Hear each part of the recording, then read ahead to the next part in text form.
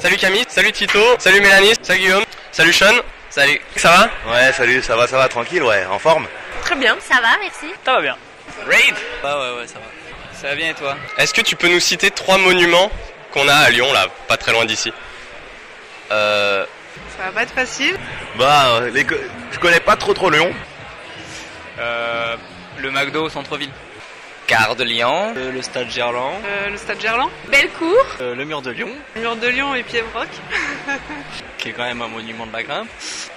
aéroport de Lyon et musée de Lyon. I've just only been to the big park with the small open zoo, which was quite amazing. Je suis passé une fois à Lyon, euh, dans le vieux Lyon, euh, où il y a la fausse tour Eiffel là. Et puis là, ça monte un peu. Là, t'as la Tour Eiffel en face, à côté d'un château. Et puis là, je suis allé visiter. Enfin, je suis allé faire un tour sur la terrasse là-haut, mais je sais pas du tout ce que c'est. Fourvière. Et la gare de Lyon, c'est où? Où, euh, où il y a les trains? It's only as a checkpoint on the way down south or to Spain, so I know the peripheric highway quite well. Toi, tu fais tes études à Lyon, là, depuis cette année. Est-ce que tu as pu voir cette salle M-Rock qui est si connue à Lyon et qu'est-ce que t'en penses? Euh, alors été plusieurs fois à Emerauc et euh, je la trouvais pas mal comme salle. Je- Mais je trouvais que c'était plutôt intéressant pour faire de la résie. Parce que enfin, je sais que personnellement j'ai un peu de mal à m'ouvrir des blocs. Mais sinon c'était une bonne salle pour s'entraîner. Il y avait un peu de tout. Euh, donc je m'appelle Hugues, ouais, je suis un des grimpeurs, peut-être un des derniers grimpeurs préhistoriques euh, de cette salle, puisque voilà, je suis issu du, du petit groupe euh, qui grimpait dans ce qu'on appelait le colcos de l'escalade, là, qui était rue, rue Paul Bert, euh, chez Marco, un tout petit groupe qui avait construit un pan euh, à la main, un des, le premier pan, et puis ensuite, euh, voilà, grâce, j'ai participé à pendant l'été 80 95, on avait aidé Marc à construire son pan. Tu peux nous dire un petit mot sur la salle M-Rock Ben, c'est que du bonheur, j'aime trop moi. Marc Ivora, qui a vraiment euh, créé quelque chose d'inédit, hein, de nouveau, qui manquait, qui n'existait pas de toute façon en France, et qui à Lyon a permis euh, de regrouper euh, tous les grimpeurs lyonnais qui en fait avant se- ben, ont grimpé au mur de Gerland et puis à la falaise de Neuville-sur-Ain. C'est là où on pouvait se voir, mais en fait finalement ça a permis de rassembler et d'échanger et de partager cette passion commune. Voilà, donc ça a été à la fois euh, novateur et utopiste. Mais ça a marché puisque ça a duré 20 ans.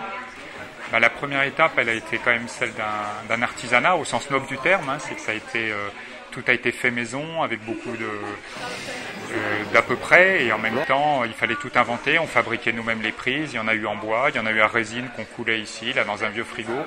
Euh, on a créé aussi l'idée de, de l'ensemble, voilà, de la possibilité en fait de faire et du bloc et des traversées, donc euh, voilà, d'un vrai pan qui, qui essayait de proposer une nouvelle façon de s'entraîner en fait qu'on n'avait pas euh, jusque-là. Ensuite, la deuxième étape, ça a été sûrement euh, de s'ouvrir justement à des pratiques euh, plus compétitives. hein. Ça a été aussi l'explosion des compétitions. Donc, voilà, des grimpeurs forts ont commencé à venir et donc le, le pan s'est adapté à ces besoins-là. Et puis, peut-être la troisième étape, ça a été de faire évoluer la salle vers aussi un public plus loisir. Hein, il y a eu beaucoup d'enfants, il y a eu le, club M-Rock Climbing qui s'est monté, ce qui a permis de faire émerger dans la salle euh, bah, du très haut niveau. hein. En 97, Murmure est arrivé avec un concept de grande salle, euh, ouverte à tous, avec des voies qui faisaient 11 mètres de haut, 14 mètres dans les dévers, un pan.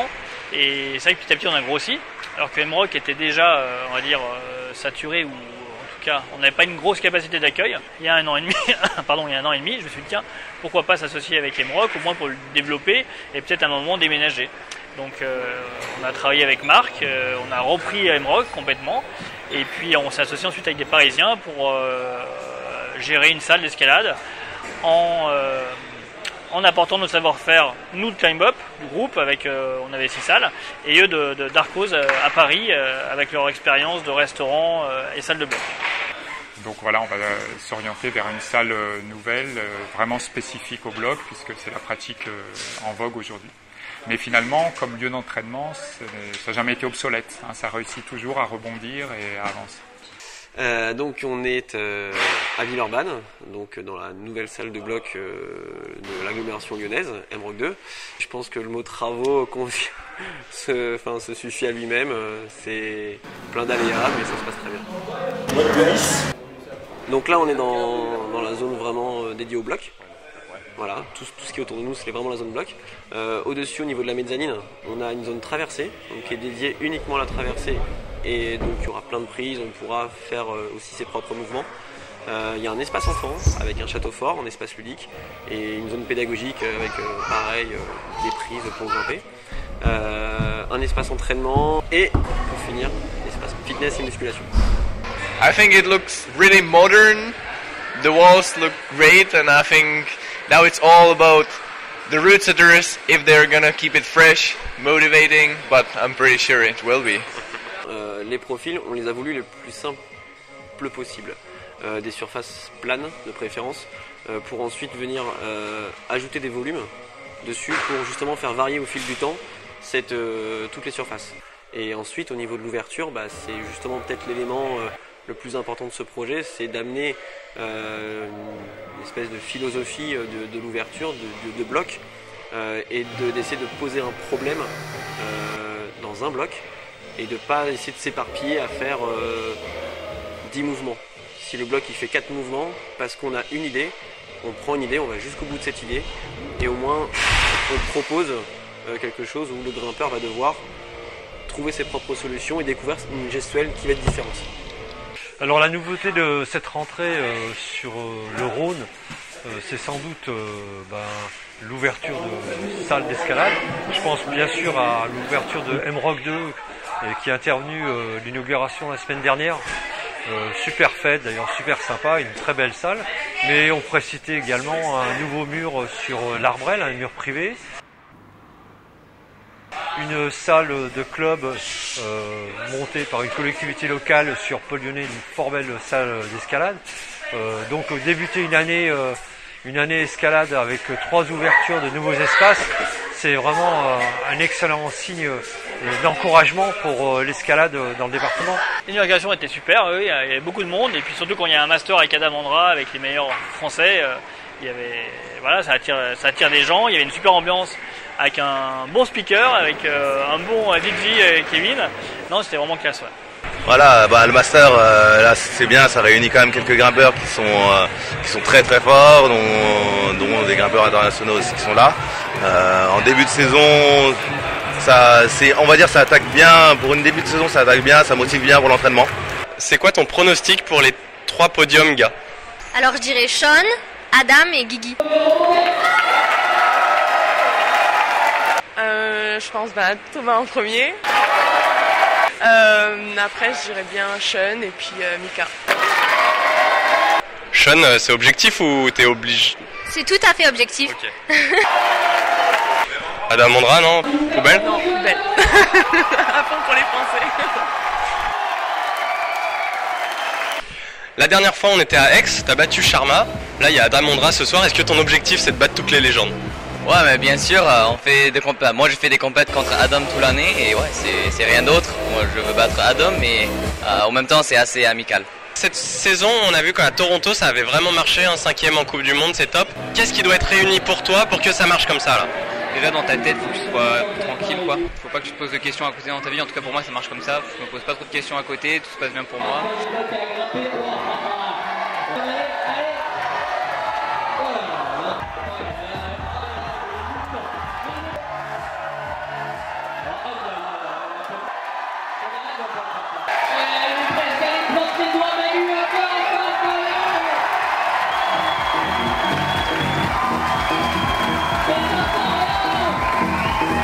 La dernière fois au Master à Aix, t'as gagné, voilà, c'était de la diff et tout. Ce soir, c'est du bloc.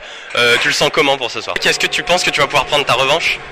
Euh, le bloc, ça me convient mieux, donc effectivement, j'espère prendre ma revanche. Après, euh, on verra bien. Eh bien, je sais que le bloc c'est bien différent, mais bon, je m'entraîne quand même aussi en bloc, donc euh, j'espère faire de mon mieux et euh, je suis sûre en tous les cas que je vais beaucoup m'amuser.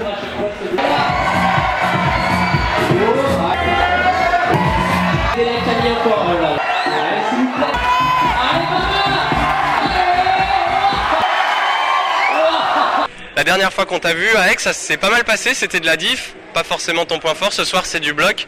Tu le sens comment là Alors c'est sûr que je préfère euh, faire du bloc évidemment, mais euh, je pense que j'étais quand même bien en forme euh, à Aix. Et là un peu moins, donc on va voir, on va y aller au plaisir.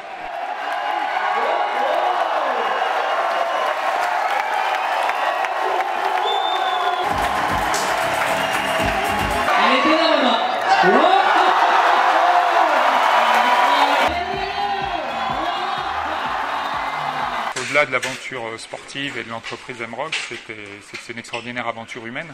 Hein. c'est basé quand même sur déjà l'utopie de Marco de dire ben, on, va, on va rassembler les gens et ils vont, ils vont être bien ensemble, la salle sera pour eux.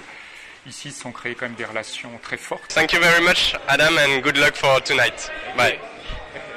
Grâce aux, aux amitiés créées ici, ben, on part en montagne, on part en falaise, on, voilà, on, on vit aussi des choses à l'extérieur, mais en sachant que c'est ce lieu qui a permis de les créer, de les rassembler.